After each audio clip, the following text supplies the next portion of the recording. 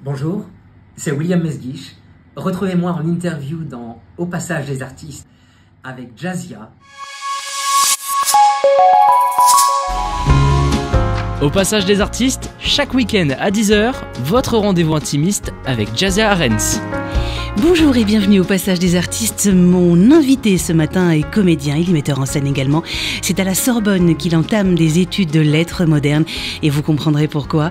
Euh, avant de suivre des cours d'art dramatique, euh, c'est seulement à 9 ans qu'il monte sur les planches pour interpréter Hippolyte, une tragédie signée Robert Garnier. Et c'est sans aucun doute dans euh, ses gènes que se trouvait cette fibre artistique. on en parlera tout à l'heure au cours de l'émission. Euh, et puis il y a eu bien sûr la passion, le travail et la créativité qui ont évidemment fait la différence, qui ont certainement fait le reste. Il est pour moi un ovni dans le monde des arts vivants. Euh, bonjour. Bonjour. William Mesguich. Écoute, je suis, euh, je suis ravie de vous accueillir au passage des artistes et, j'ai l'impression que le, passage des artistes tient, tient, prend, prend tout son sens aujourd'hui en, en vous invitant. Je suis vraiment ravie Euh, alors moi, je découvre un peu votre, votre travail. Euh, au Festival d'Avignon. Mhm. Voilà. Et, et, à chaque fois que je sortais d'une de vos pièces, que ce soit dans le cadre d'une mise en scène ou en tant que comédien, je me dis, mais comment, mhm. comment fait-il pour enchaîner tout ce travail? Bon, tout d'abord, euh, depuis, depuis tout petit, j'ai l'habitude de faire des efforts, de, travailler comme plein de gens énormément. Donc je n'ai pas compté mes heures de labeur pour justement euh, euh, inventer, chercher, euh, me tromper, recommencer, douter, et, et, et cela depuis que je suis tout petit. Donc c'est peut-être quelque chose qui est inscrit en moi euh, notamment parce que j'ai fait une chose un tout petit peu originale quand j'étais plus jeune, euh, jusqu'à l'âge de, de 20 ans, pour, pour ce qui est d'un niveau tout à fait honorable, même d'un très bon niveau, je faisais, je pratiquais le football euh, comme sport, et j'étais dans un centre de formation et, et, je m'entraînais cinq fois par semaine, et là, il n'y a pas de place pour l'à peu près, en tout cas, il n'y a pas de place pour, pour le laisser aller, il faut, et je travaillais, et je faisais beaucoup, beaucoup, beaucoup d'efforts, beaucoup d'entraînement pour être à la hauteur le dimanche en match, et, et ça ne m'a pas quitté quand j'ai j'ai décidé d'embrasser la carrière théâtrale, euh, j'ai toujours euh, aimé mener les autres, si j'ose dire, entraîner les autres. J'ai toujours euh, aimé être à l'origine des projets. J'ai toujours, oui, été en quelque sorte leader des projets avec ma, dans ma compagnie théâtrale. et, et, c'est quelque chose qui aussi peut-être est un héritage, celui de mon père, qui, est, quelqu'un, Daniel Mesguich, qui est, qui est quelqu'un qui a toujours énormément travaillé, qui, quand il fait une mise en scène, là aussi ne compte pas ses heures, peut travailler jour et nuit pendant des semaines, des mois. Et j'ai deux sœurs qui font du théâtre et je pense qu'on on est tombé dans cette chose-là quand on était tout petit. On, on, aime, on aime l'effort, on aime l'idée de, euh, de, de, de, se tromper pour mieux recommencer. On aime l'idée de chercher, on aime l'idée d'aller toujours un peu plus loin, euh, d'explorer des contrées qui nous sont inconnues. Euh, donc, il y a une expérience euh, de cette, euh, j'allais dire cette violence de l'effort. C'est pas une violence parce que c'est aussi un plaisir, mais de cette nécessité de l'effort. Et Sylvain Tesson en parlerait formidablement parce que Sylvain Tesson est fait de ce bois-là. Et comme j'ai interprété un de ses textes, je peux très très bien en parler. Et on, en parlera, tout à l'heure. effectivement, et, effectivement, j'aime cette idée de d'y retourner. J'aime l'idée de, de, recommencer. Et, en 2019 et en 2021, je, je, jouais déjà quatre spectacles par jour à Avignon. J'ai reproduit euh, cette, cette aventure en, ou cette expérience en 2022. Mhm. Je le ferai pas pendant 10 ans, je le ferai pas encore parce que le temps passe et, physiquement c'est très éprouvant et moralement aussi. Mais, mais pour l'instant, je tiens le choc et j'ai aimé l'idée euh, à nouveau de me produire plusieurs fois sur scène cet été à Avignon. Alors moi j'aimerais, avant qu'on commence euh, l'interview, hein, mhm.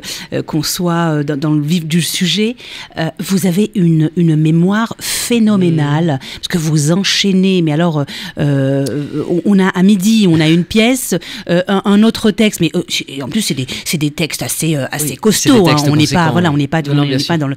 Et, et, c'est fabuleux. Enfin, comment, comment vous faites pour mémoriser tous ces textes-là? Bon, peut-être qu'il y, a, quand on, exerce sa mémoire, on a parfois des, des, prédispositions ou des dispositions assez favorables. De la même manière, quand on fait un effort sportif, on, on, a, on a des peut-être quelques facilités.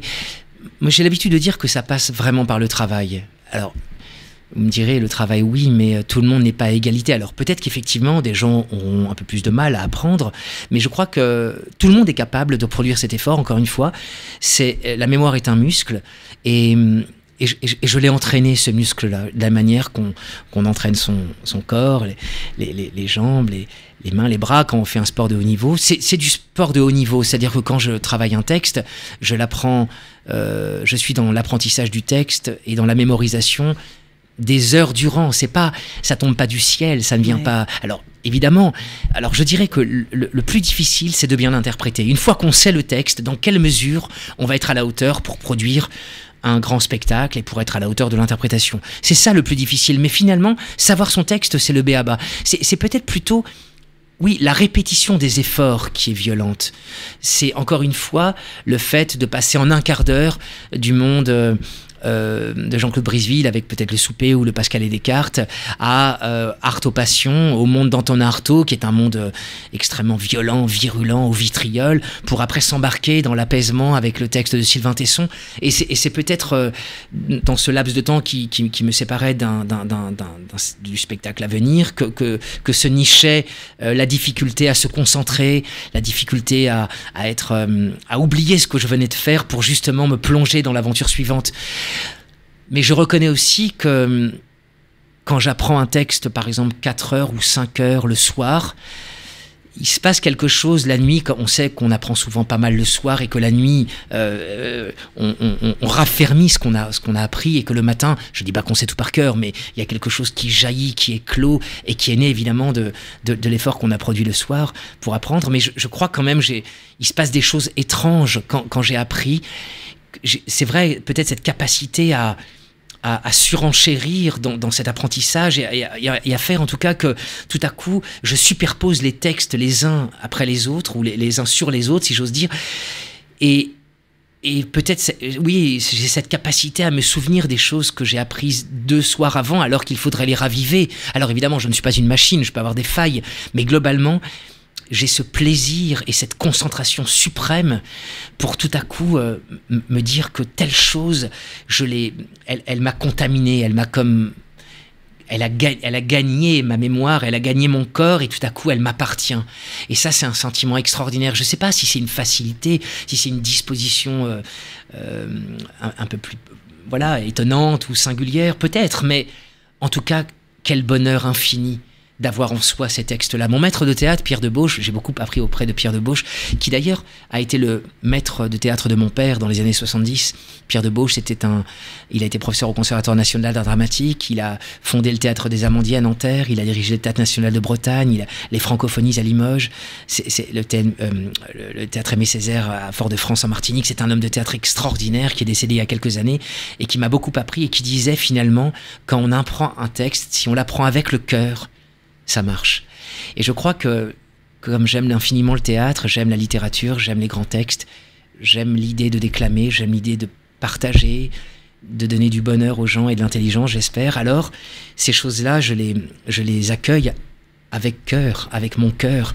Et non pas, vous savez, comme on dit parfois, il faudra apprendre par cœur. Le par cœur est un peu rébarbatif. On le disait à l'école, hein. il faudra apprendre ce poème par cœur. Et puis il est glacial, il, Il, est, est voilà, froid. il est froid. Alors qu'avec le cœur, je crois que c'est il y a quelque chose qui est littéralement terre d'accueil. Et quand on aime un texte, avec son cœur encore une fois, avec ses sentiments, avec cette sensibilité, eh bien, on, on- on arrive à le faire sien ce texte-là Mhm. et à faire tout à coup qu'il puisse euh, euh, vivre en nous. Et d'une, là, j'ai sept ou huit textes dans la tête, aussi importants que ceux que j'ai joués ce matin. Euh, pas, pardon, pas ce matin, que j'ai joué cet été. Ce matin, c'est rigolo, cet été à Avignon. Et, et effectivement, euh, j'aime les avoir en moi. Il faut bien sûr de temps en temps les raviver parce que je ne suis pas une machine. Bien Et sûr. il faut pouvoir de nouveau les lire un peu, se les redire. Mais très vite, ils reviennent parce que j'ai aimé les apprendre. C'est passionnant de pouvoir discuter avec vous, euh, euh, William Mesguich, parce que euh, les auditeurs n'ont pas le n'ont pas le visuel, Non, non, non. Mais c'est vrai que vous parlez aussi avec votre corps. Vous, vous êtes passionné, vous parlez avec toujours votre corps. beaucoup de beaucoup de générosité, Voilà, je crois, c'est- c'est toujours très- beaucoup de- d'enthousiasme et de et de passion pour l'art théâtral, pour la transmission, pour la pédagogie, pour la pour la réflexion finalement et pour tout ce qui peut nous rendre plus plus riches de l'intérieur, plus intelligents, plus forts. Euh, moi, ce que j'apprécie, et, je vous le dis en toute honnêteté, euh, chez vous, en dehors de, euh, du talent, bien évidemment, de la, de la performance, il y a d'abord cette générosité qu'on ressent, sur, qu'on perçoit sur mmh, scène, c'est indéniable. et puis, vous avez cette humilité extraordinaire.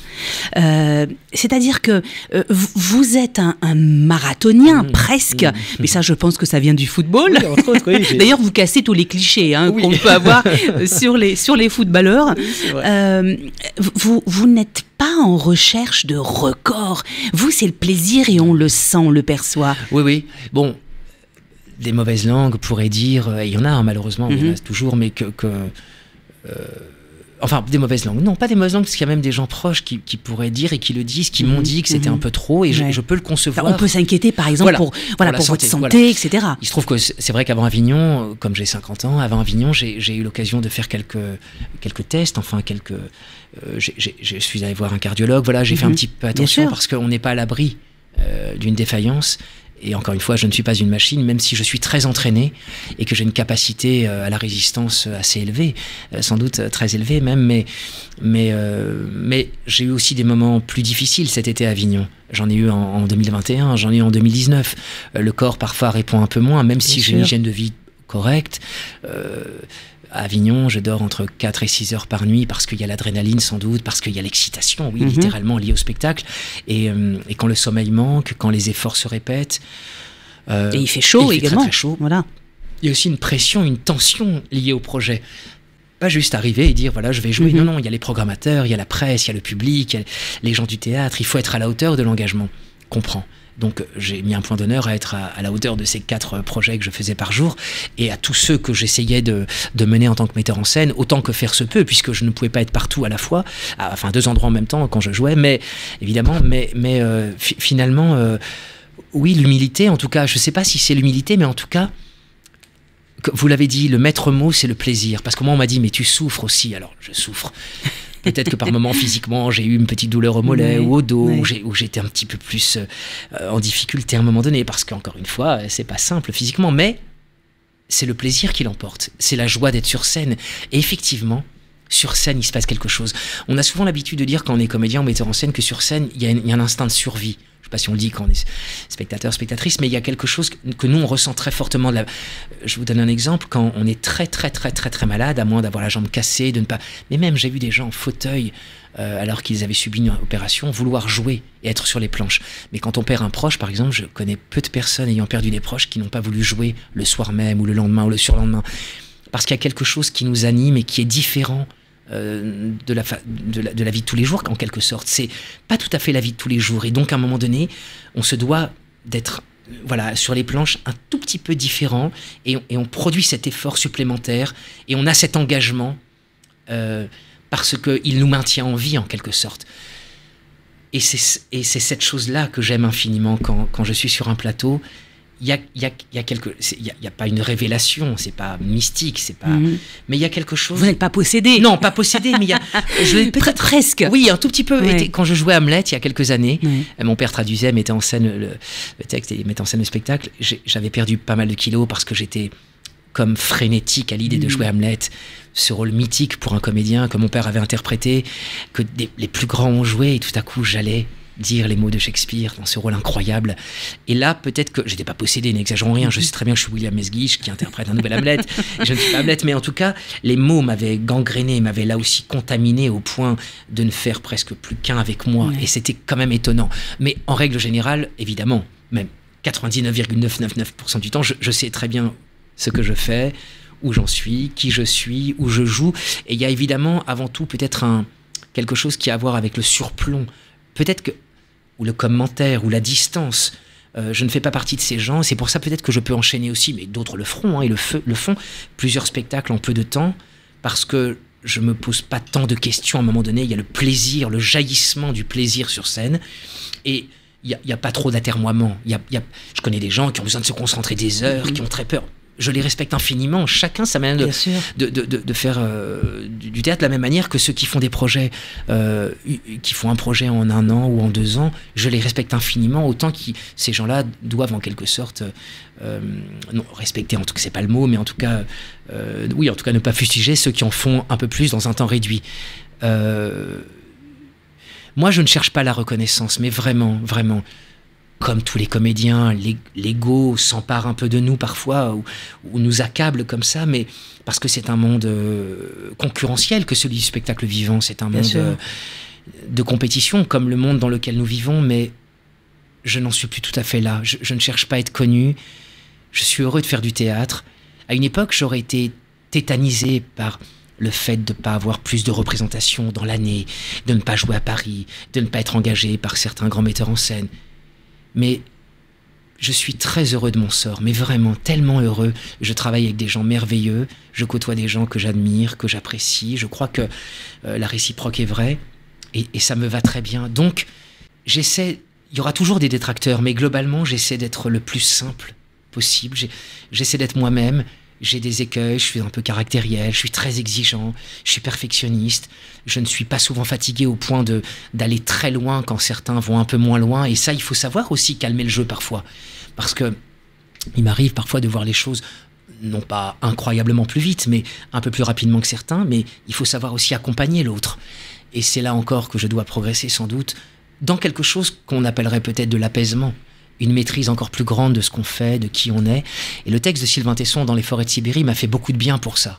Euh, j'ai eu l'occasion de jouer ces dernières années des rôles très assez violents, pas très violents, mais euh, des rôles en tout cas bien forts. Oui, euh, forts, oui, effectivement. Et à un moment donné, il faut savoir aussi aller ailleurs. Je pense que j'allais un peu dans le mur avec cette virulence que je m'infligeais mhm, aussi, mhm. cette violence, ce tremblement que j'avais, ce regard plein de Notamment dans, dans Artaud, qui, qui, un rôle qui mhm. m'épuise parce qu'il il, il, me demande beaucoup, il me demande d'aller très loin. Physique également. Ouais, et, et parfois j'étais limite en sortant de scène, vraiment, et même en cours de spectacle, parce que c'est un rôle euh, difficile et je m'infligeais euh, cette, cette, cette violence-là, cette, cette capacité à aller au-delà et il faut jamais aller trop loin. Là aussi, mon maître de théâtre disait, mon père le dit aussi souvent, jamais à 100%, toujours à 99, toujours essayer de maintenir une légère distance, un léger surplomb qui fait qu'on qu'on sait où on en est, qu'on commente, plutôt que de jouer à 100% la chose, parce que si c'était 100%, ça ne marcherait pas bien. Quand par exemple sur scène on doit tuer quelqu'un, dans, dans, le cours du spectacle et de, l'intrigue euh, du canevas, tout à coup, si on le tue vraiment, ça ne marche pas bien. Je prends souvent cet exemple. Donc il faut garder toujours un petit peu de, de, mesure, et, euh, et c'est peut-être là encore que je dois progresser pour éviter l'écueil euh, d'être un peu trop survolté. C'est peut-être ce qu'on m'a de temps en temps un peu reproché, en étant par monts et par vaux. Mais je le fais toujours avec un engagement très sincère, j'espère le plus noble qui soit, mais on ne peut pas plaire à tout le monde.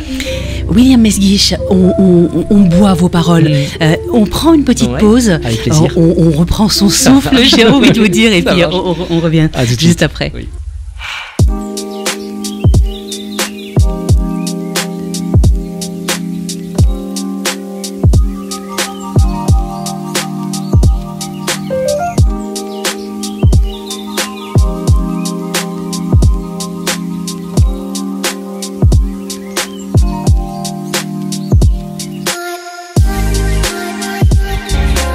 D'écouter Vivre FM si vous venez de nous euh, rejoindre. Euh, nous sommes donc toujours au, passage des artistes en compagnie de William Mesguich et je venais en off de lui dire qu'il m'énervait. Dans le bon sens, je vous rassure. Euh, c'est vrai qu'il y, y, a un travail, j'imagine, mais il y a un talent fou. alors, William, euh, moi j'aimerais qu'on puisse également, parce que euh, vous le disiez tout à l'heure, enfin tout à l'heure, non, c'était pas tout à l'heure, c'était euh, sur scène à Avignon. Vous parliez très souvent parce que vous avez joué, vous avez deux pièces de théâtre hein, avec avec Daniel Mesguich et, et, vous l'appelez mon géniteur. Alors est-ce que vous le taquinez un peu? Oui, je le taquine un peu. Oui, je le taquine un peu. Oui, oui, je, parfois on répétit. J'ai joué à 13 reprises sous la direction de mon père depuis que je fais du théâtre, donc on se connaît très bien. Mhm. Et sur scène aussi, puisqu'il m'a dirigé notamment dans Hamlet, dans le rôle d'Hamlet ou dans le rôle du prince de Hombourg, de Kleist, donc notamment deux très grands rôles. Et, et j'ai beaucoup collaboré avec lui. Donc de temps en temps, c'est Daniel. Il y a pu avoir des papas euh, mon géniteur, euh, mon père. Euh, c'est des, petites blagues qu'on se fait avec mes sœurs aussi pour pour Sarah notamment, Sarah bien sûr et, Rebecca pour le pour le nommer. Et on s'entend évidemment très bien avec Daniel au point qu'on a voilà on a beaucoup beaucoup travaillé ensemble. On a 20 ans d'écart, c'est très peu. il il était papa quand il était au concert. Il est devenu papa au Conservatoire national d'art dramatique. C'était un des plus jeunes papas, évidemment. Euh, au conservatoire, il n'y en avait pas d'autres. Il n'y en avait que deux autres, je crois, parce qu'ils étaient encore euh, comme des bébés, en quelque mhm. sorte. Mais euh, ma maman est un petit peu plus âgée, faisait prof de français. Et effectivement, on a, c'est une relation très forte qui nous lie depuis, depuis tout le temps. Alors, bien sûr, je suis tombé dedans quand, quand j'étais petit, sans doute dans le monde du théâtre, puisque à 9 ans et à 10 ans, j'ai joué donc, évidemment, dans Hippolyte de Garnier, mise en scène par Antoine Vitesse, et dans Athalie de Racine, mise en scène de Roger Planchon, parce que dans ces cas-là, les enfants parfois d'artistes euh, avaient la possibilité de faire quelques auditions et étaient au courant de certains spectacles, et il se trouve qu'ils cherchaient à ce moment-là des, enfants. J'ai fait partie de l'aventure, donc je suis tombé dedans quand j'étais tout petit, mais je m'en suis un peu éloigné à l'adolescence. Oui, parce que vous êtes passé euh, du coup du, ballon au, brigadier. Voilà, exactement. Effectivement, j'ai tenté de devenir footballeur professionnel. J'étais pas très loin parce que je jouais au centre formation du Red Star, donc je m'entraînais vraiment énormément. vous avez arrêté à cause d'une blessure. Voilà, je me suis blessé grièvement à la jambe gauche euh, mhm. quand j'avais 17 ans, et, et mais le monde du théâtre me titillait. Je voyais sans arrêt des comédiens euh, à la maison, j'entendais parler théâtre 18 heures sur 24. J'allais bien sûr voir des répétitions, des représentations. Euh, mon père m'emmenait de temps en temps, nous emmenait ses enfants sur des tournages. Mais j'avais pas forcément envie de faire ça. Et puis un jour, je leur ai dit à mes parents que j'avais envie de tenter l'aventure.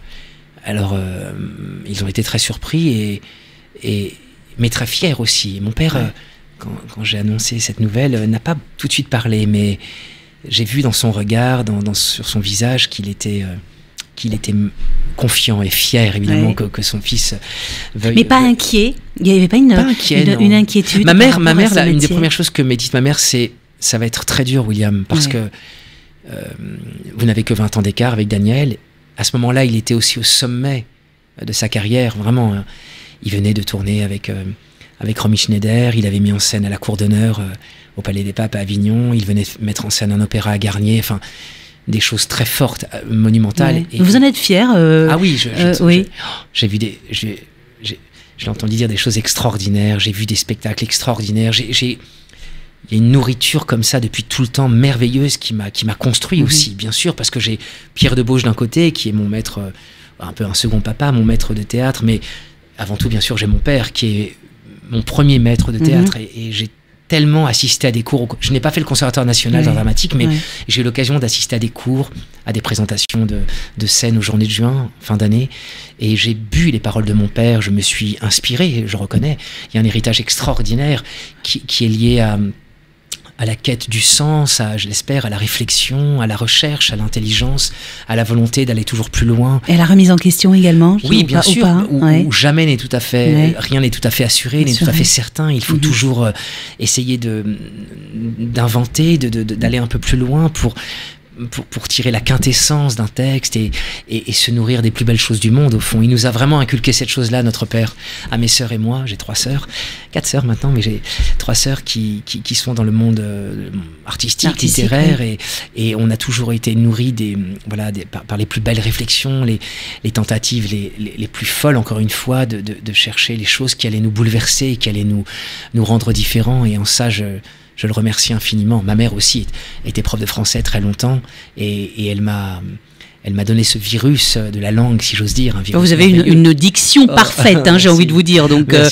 on, a, travaillé beaucoup, effectivement, et, notre père a mis un point d'honneur à, à, nous entraîner sur ce mhm. terrain-là, le terrain, je l'espère, de l'exigence, pour viser l'excellence et être toujours au plus près de la chose la plus belle qui soit. Mhm. Jamais la plus parfaite, comme je le disais, jamais du 100%, mhm. mais pas très loin, pour justement essayer de, toucher euh, euh, l'inouï, le, rare, la chose qui va nous nous, nous, entraîner ailleurs. Euh, dans, les contrées les plus incroyables de la pensée et de, la, réflexion. Et oui, je suis très fier de lui, je suis très fier d'avoir joué à ses côtés euh, autant de fois, parce qu'on a joué entre le souper et l'entretien de Pascal et Descartes plus de 600 fois. Euh, les deux spectacles, donc on se connaît très bien. On, s'est tellement côtoyé dans les loges, on s'est tellement côtoyé dans les coulisses. Il y a des choses qui nous appartiennent absolument euh, dans notre relation. ça renforce les liens. Oui, ça renforce les liens incroyables. Et, en même temps, bien sûr, quel quelques tensions par moments, quelques incompréhensions, quelques désaccords, mais toujours beaucoup de respect, beaucoup d'admiration l'un pour l'autre. Et je crois qu'il est maintenant très fier aussi, ça fait longtemps qu'il est très fier, parce que j'ai fait mon chemin depuis 25 ans, mais il est très fier du chemin parcouru, de la, voie que j'ai empruntée. J'ai montré à quel point le travail finissait par payer, l'engagement, la volonté, le désir de se dépasser. Mon père ne comprend pas bien parfois ce que je fais. Il me dit, mais fiston, mais tu fais ce spectacle, mais aussi celui-là, mais tu es et aussi celui-là, mais tu es totalement fou. mais je, crois qu'il y a, non mais je crois qu'il y a, il y a euh, dans, dans, chaque artiste, il y a un grain de ah folie. oui, oui, oui, il, il, faut d'ailleurs pour être génial, il faut être fou. Oui, oui, en tout cas, il y a, il y a une part. Vous avez raison, il y a une part, il y a, une part de folie. Quand, quand, mon père met en scène le Ring de Wagner et travaille six mois sur cette tétralogie extraordinaire euh, pour la présenter à l'Acropolis de Nice et, à la, et au Théâtre des Champs Élysées, je lui dis, papa, tu as fait une chose folle. Tu as dirigé euh, des chanteurs wagnériens pendant 18 heures. Il y a 18 heures d'opéra, c'est extraordinaire. Tu vois.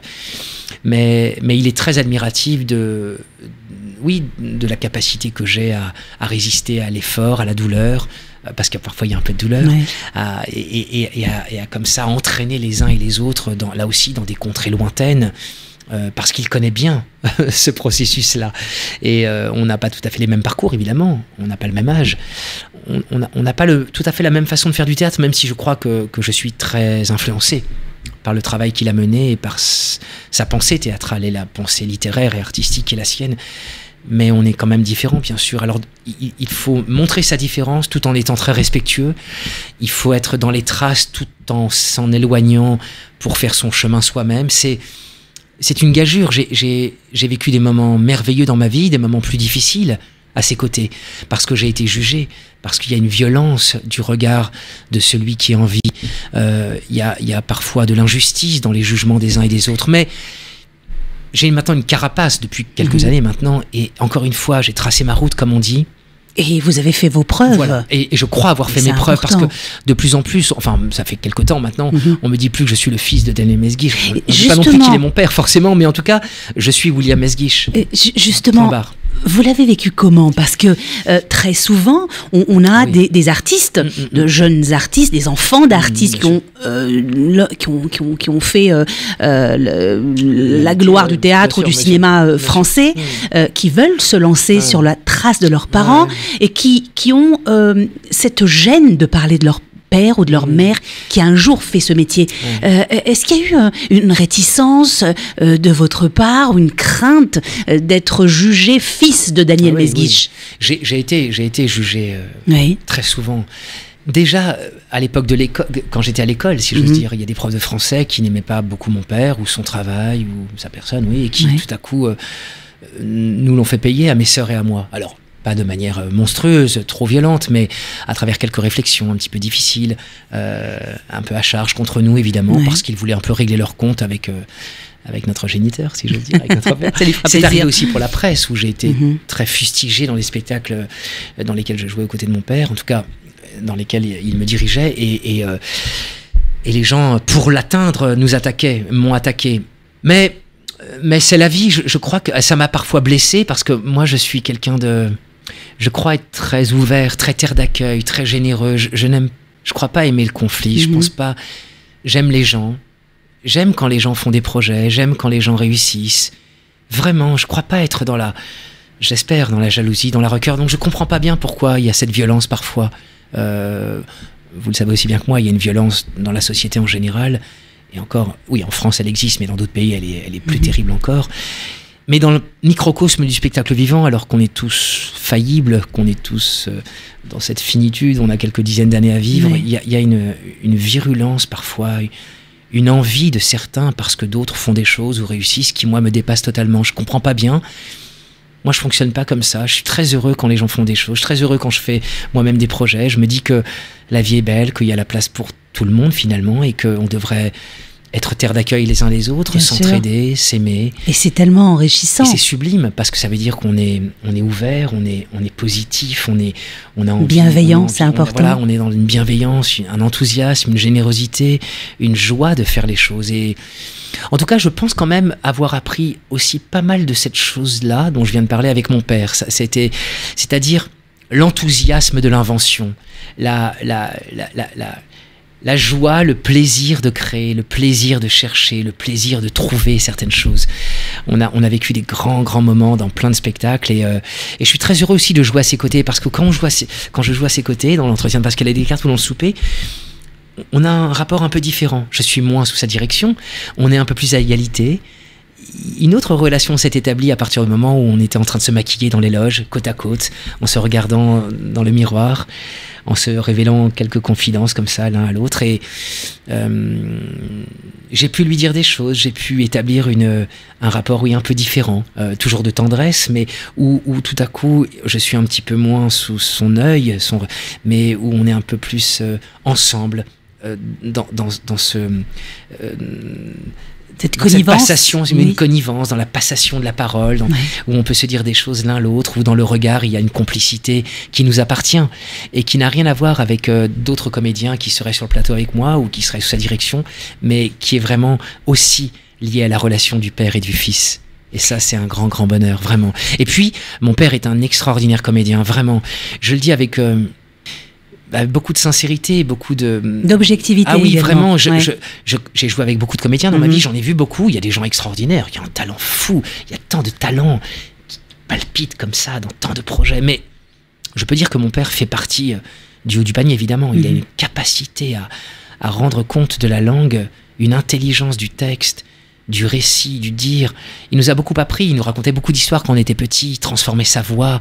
Et très vite, on a, on a été à bonne école, bien sûr, dans, dans, l'art de réciter au sens noble, de la même manière qu'il a fait l'arlésienne, ou qu'il prête souvent sa voix pour des, faire des radios ou, des, mhm. le récitant. Moi-même, je fais beaucoup de récitant avec des musiciens notamment, et euh, on aime ça, on aime l'art du conte, l'art, l'art du récit. oui, et de la transmission. Oui, cette transmission. Et vous parliez de diction moi je dirais oui, l'implacabilité de l'addiction, l'exigence absolue de, l'élocution, le rapport au rythme, à la prosodie, une manière de faire entendre les mots les plus importants de la phrase pour faire danser la langue française, qui est merveilleuse, comme d'autres langues dans le monde. Les mots sont sublimes, l'essence, le sens des mots, les signes sont ce qui nous constitue en grande partie, il n'y a pas que ça, mais, mais c'est ce qui nourrit notre intelligence, notre esprit. Puis surtout l'émotion qui, qui, qui, qui, qui se dégage. Et, quand tout à coup les mots, sont, sont, sont, intimement liés à l'émotion, ça procure une joie infinie. Quand on est spectateur, quand on est comédien, et, et ce partage-là, il, est, il est palpable, mais il est très difficile à expliquer avec les mots. Il appartient à cette relation entre la scène et la salle, entre celui qui écoute, ou celle qui écoute, et puis celui ou celle qui est un tout petit peu plus dans la lumière. Finalement, on s'est tous donné rendez-vous pour de l'intelligence, de la réflexion, du bonheur, du plaisir, de l'émotion, de la sensibilité. Il se trouve que certains sont un tout petit peu plus dans cet éclairage-là dont je parlais, parce qu'ils sont sous les projecteurs, d'autres sont un tout petit peu plus dans la pénombre, mais on participe à la construction de l'imaginaire et, et, de la réflexion. Et ça, euh, c'est un joyau inestimable. Et notre père, mes sœurs et moi, nous a appris euh, que ce joyau était peut-être pas bah, la chose la plus importante du monde, mais l'une des choses les plus importantes du monde. C'est pour ça qu'on aime le théâtre. Et c'est vrai que le théâtre apporte cette émotion qui n'existe nulle part. Ah voilà. Et, euh, euh, vous savez quoi, euh, William Esguich? Moi, je pourrais passer des heures à vous écouter parce que, parce que voilà, je, pense qu'on a une passion commune qui est. Alors, le, le, talent n'est pas commun, mais la passion, mais la passion est, est, commune. la passion, en tout cas, de, des arts, des arts vivants. ça se perd un peu malheureusement, mais on, en parlera en, en, troisième partie. déjà des pièces qui sont en, en cours pour cette cette, rentrée. On fait une pause, William Mesguich, et puis on, se retrouve juste après.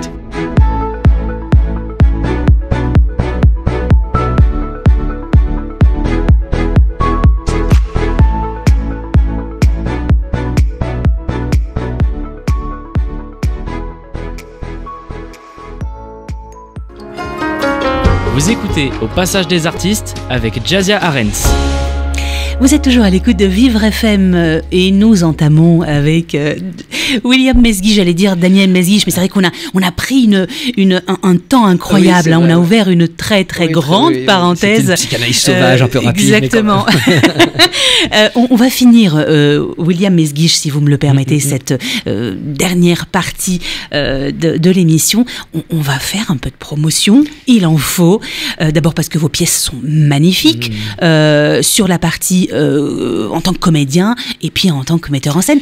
Qu'est-ce qu'on a la chance de voir à Paris et puis pourquoi pas également en tournée. Oui, euh, il y a- alors il y a, il y a pas mal de dates de tournée puisque je, je fais pas mal de spectacles en même temps, dans Mhm. le même temps, et, et certains des spectacles tournent évidemment, euh, notamment notamment Opéra Piessé qui s'était joué au Lucernaire l'an dernier, la saison Oui. dernière, et que qui aura à peu près 35 dates de tournée, un spectacle musical que j'ai mis en scène avec deux chanteuses remarquables et une accordéoniste et un accordéoniste, ils sont en alternance, les deux musiciens. euh, qui, et, et ce spectacle se, se produira dans pas mal de villes en France cette année à l'occasion de la saison 22-23. Je vais également jouer euh, le spectacle de le texte de Sylvain Tesson dans les forêts de Sibérie que je reprends. J'ouvre juste une parenthèse. Je n'ai jamais jusque-là, et puis je suis au théâtre depuis euh, 20 ans, je n'ai jamais été aussi émue Mmh. de toute ma vie par le texte, par le jeu, euh, par la, la philosophie qui, euh, émane qui, du- qui- qui émane de ce texte-là. Ouais, c'est fabuleux. Oui, c'est un très beau texte que, que je, je- je joue depuis maintenant trois ans, euh, Covid inclus si j'ose dire, Mhm. confinement inclus, mais j'en suis à la 230e représentation. Je vais le jouer encore en tournée cette année et peut-être à Avignon l'été prochain et je le reprends au Poche Montparnasse à partir du 19 septembre, tous les lundis à 19h. C'est un rendez-vous hebdomadaire euh, pour une représentation, donc les, les lundis à 19h, jusqu'au 26 décembre. Euh, le Poche Montparnasse étant, étant un peu ma seconde maison, si j'ose dire, ou, euh, constituant un peu ma famille, puisque les Forêts de Sibérie, c'est le sixième spectacle que je fais au Poche. Donc c'est des gens que je... Sylvain, euh, pardon, Stéphanie Tesson, Philippe Tesson, qui sont bien sûr le Ce sont également vos amis. et hein, qui sont mes euh, amis, qui sont la sœur et notamment le père de Sylvain, l'auteur. Et Sylvain est également un ami, mais je suis un peu en famille, si j'ose Ouais. dire, avec ces gens-là. Donc je reprends le spectacle à Paris, donc au Poche et en tournée. Il y a un autre spectacle qui va se jouer à la Manufacture des Abbesses à partir du 12 octobre prochain. C'est La vie matérielle de Duras, euh, de Marguerite Duras, interprétée par Catherine Artigala, qui est absolument remarquable dans le rôle de Duras. Euh, ce sont des souvenirs, des anecdotes, des pensées intimes que Marguerite Duras livre à un auditoire. Et, Catherine Artigala- est une Marguerite euh, Duras extraordinaire. Ça se jouera, il me semble, jusqu'au 25 novembre prochain. Pardon, du, du, du 12 octobre au 25 novembre. Mhm. Euh, il me semble également du jeudi au dimanche. Donc ça, c'est pour les spectacles parisiens. Mhm. Il se pourrait que le, le spectacle Artaud Passion, où j'interprétais le rôle d'Antonin Artaud, euh, qui, qui est un des plus beaux rôles que j'ai interprété dans ma vie avec Hamlet, bien sûr, soit repris à Paris. On est, on est en, en, recherche d'un lieu. Ça devrait se faire, il faut un peu guetter, mais peut-être que je jouerai le spectacle euh, prochainement à Paris. Je, l'espère en tout cas, parce qu'on l'a fait trois ans d'affilée à Avignon, euh, un petit peu en tournée, en région et en Ile-de-France, mais il faudrait pouvoir le présenter, pourquoi pas à Paris, même si le spectacle est très exigeant, très, euh, très difficile et un petit peu particulier euh, pour certains, il est, je crois, nécessaire et en tout cas, la parole Et- est très belle. Et, et- et fascinant. Parce que c'est- une parole euh, le, le- vitriol, le- le théâtre est sublimé dans, il est voilà, sublimé. dans ce texte-là. euh, dans ce texte, effectivement. Voilà. Et puis, et puis j'aurai d'autres spectacles en tournée, tels que le souper, par exemple, Mhm. qu'on va jouer, par exemple, à Bure-sur-Yvette ou Gif-sur-Yvette, ça c'est en Ile-de-France, euh, mais aussi euh, dans le sud pour plusieurs représentations, donc c'est un peu plus difficile d'en parler, mais je vais jouer ce spectacle-là. Vienne 1913 également sera euh, pour quelques représentations en tournée. Euh, il faut guetter un petit peu Alors, les réseaux sociaux. Alors justement, quand on a envie d'avoir euh, ce, ce type d'infos, est-ce que vous avez un site internet sur lequel on, on peut se brancher Oui, en- en- et regarder un peu les infos En, tout cas, j'ai une page officielle Facebook Oui. sur laquelle il y a, il y a les Toutes différentes, voilà, les informations que je, que je vais raviver là pour, Mhm. pour cette année 22-23 et, et on pourra consulter les choses. Il y a également euh, en projet évidemment des, des choses pour Avignon 23 Ouais, parce qu'il faut les préparer ces choses-là. Et l'an dernier, en 22, euh, c'était c'était un Avignon où il y avait sur les 11 spectacles auxquels je 10 reprises. Il n'y avait que Lettre d'une inconnue de Stéphane Zweig qui, qui, se, qui se créait. Euh, C'était donc Avignon au, au Roseau Teinturier avec Betty Pélissou, une comédienne remarquable également qui interprète euh, ce, ce rôle merveilleux. Qu'on embrasse d'ailleurs, voilà, Betty. Betty qui est absolument étonnante comme jeune femme et qui joue également plus tant de choses à la fois avec un engagement extraordinaire. Eh bien, l'année prochaine, il y aura des créations et notamment, je peux le dire, c'est plus un secret, je vais mettre en scène Richard III de Shakespeare, bien sûr, que j'interpréterai. Je suis en plein dans la traduction, adaptation du Ouais. texte. Je, je me lance un peu dans, dans ce genre d'écriture, si j'ose dire, en adaptant le texte. Et ça va être le gros, gros morceau de l'année. Je créerai le spectacle le 17 mars prochain au Théâtre de Meaux, en Ile-de-France, en Seine-et-Marne. On y sera. Voilà, le 17 mars, vraiment, euh, euh, ça sera le lieu de création. Et puis Ouais. ensuite, il y aura Royal Malmaison, Mhm. sans doute le mois Molière à Versailles, et ensuite Avignon. Le lieu est encore un peu à définir parce qu'il y a plusieurs pistes, je l'annoncerai dans pas longtemps. Ouais. Et puis j'ai eu d'autres propositions en tant que comédien euh, pour interpréter notamment, je l'espère et je pense qu'on ira au bout, le rôle de Karajan. Van Karajan, le célèbre chef d'orchestre, euh, sans doute pour Avignon 23. Et donc ça va être euh, l'occasion de travailler ces projets-là cette année théâtrale. Euh, euh, le Descartes va un tout petit peu, Pascal Descartes va un petit peu tourner. Voilà, on va être, euh, je vais être beaucoup dans des tournées, dans la reprise des forêts à Paris, dans la reprise de la vie matérielle à la manufacture des abbesses et, et dans les futures créations avignonnaises. Oh, je peux dire, pardon, une, autre chose, que, que à, à la rentrée, il y aura dans pas longtemps également la sortie en, en audio lib, euh, vous savez, sur les plateformes numériques, Mhm. d'un texte euh, merveilleux que j'ai enregistré qui s'appelle Le portrait de Dorian Gray d'Oscar Wilde, où je prête ma voix à tous les personnages, un peu comme Daniel dans l'Arlésienne. Euh, et, et- et ça, ce sera dès l'automne qu'on pourra, qu'on pourra entendre cette histoire ou se procurer le le DVD ou en tout cas euh, télécharger comme on Mhm. dit. Et puis à l'automne également, je, sortira un film dans lequel euh, j'ai eu un, un rôle euh, très intéressant, un film de Jude Baumann, qui est un réalisateur merveilleux qui, euh, qui donc notamment a, a fait plusieurs films dans sa vie. J'ai un rôle tout à fait intéressant. Ça sortira sans doute à la mi-octobre ou à la fin octobre dans une quinzaine de salles parisiennes. L'occasion de travailler un tout petit peu différemment devant, devant la caméra puisque le travail euh, à l'écran n'est pas tout à fait le même Ouais. que celui sur les planches. Tout Voilà. à fait. Et ça, c'est vrai que c'est un vaste sujet. Il faudra Mais revenir. oui, pourquoi pas, euh, pour, présenter, parler des, pour- des pour- autres pour projets. Nous parler, Oui, avec pour nous parler de tout cela. oui. Et, et puis surtout, euh, continuer à parler du, de votre passion pour le, pour le, le- le Oui, théâtre. Euh, c'est un, un vaste sujet. Ouais, un vaste On pourrait sujet. y passer euh, très très longtemps euh, à, à- à échanger. William Mesguich, merci, Merci. infiniment Ben, merci pour euh, votre passion. Euh, qui, est tellement communicative. Euh, merci euh, pour votre travail, votre euh, persévérance. Et puis écoutez, euh, rendez-vous Oui. sur les planches Oui. très bientôt. bientôt. Merci beaucoup. bientôt. Au revoir.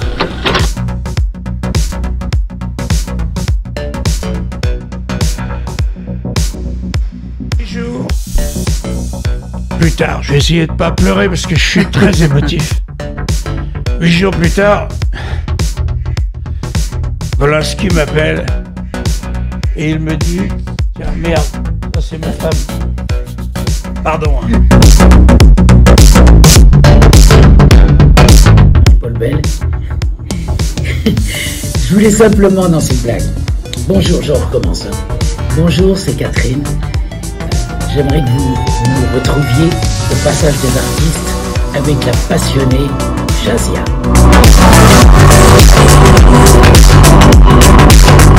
Ah, ces trois éléments, parce qu'il faut que ce soit harmonieux, euh, est-ce qu'on on est un peu plus exigeant Vous êtes comment au, au boulot Euh, Plutôt tyrannique, plutôt Ah non, cool ou- dramatique, dramatique. Ouais. C'est pour ça que c'est mon dernier disque. Je ne fais plus de disques. Arsène Radio. Arsène Radio.